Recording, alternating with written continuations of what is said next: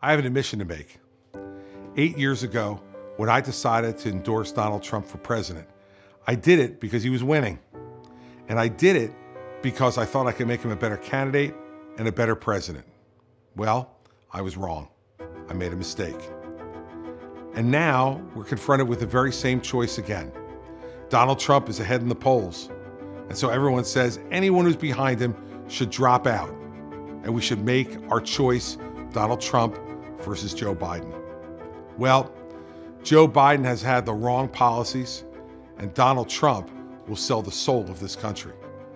Neither choice is acceptable to me, and it shouldn't be acceptable to you.